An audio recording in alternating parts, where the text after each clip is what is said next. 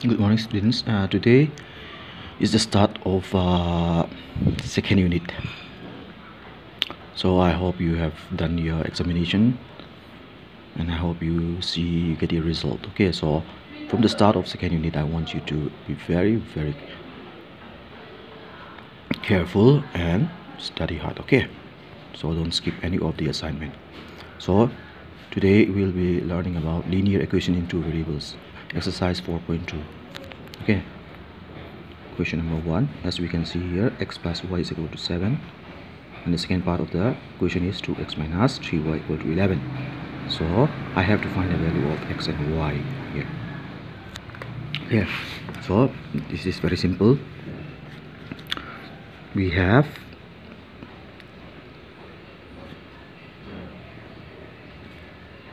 x plus y is equal to 7 here the variable of x and y does not have any uh, coefficient. Okay before the number before the variables if uh, there is a number it is called a coefficient. Okay so if there is nothing here you can just simply arrange it this way.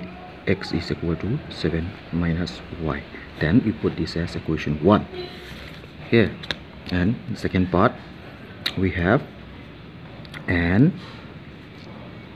2x minus 3y equal to 11 equation 2 okay we don't have to change the second part. Okay if you change the first part you don't have to change the second part. If we change the second part we don't have to change the first part. Okay so next is i have to substitute the value of x in equation 2 okay substituting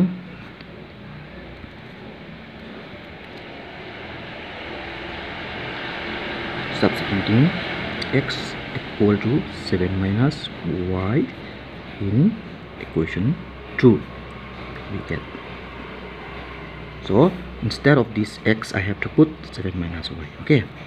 2 times 2x means 2 times 7 minus y minus 3y equal to 11 so if i multiply these two with 2 7 2s are 14 minus 2y minus 3y equal to 11 so 14 has to move to the right hand side. Negative 2y and negative 3y is negative 5y which is equal to 11 minus 14 then minus 5y is equal to minus 3 11 minus 14 is minus 3 negative and negative can cancel each other so the value of y is 3 by 5 so we have the value of y. So i have to put the value of y in equation 1 then i can find the value of x here. Okay very simple. Putting y equal to 3 by 5 in equation 1 we get x is equal to 7 minus y. So instead of y i can put 3 by 5 7 minus 3 by 5 so if I calculate this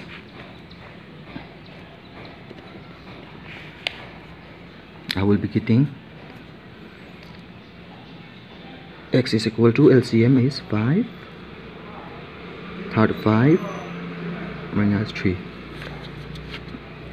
is equal to 32 by 5 so therefore x is equal to 32 by 5 and y is equal to 3 by 5 okay that's all.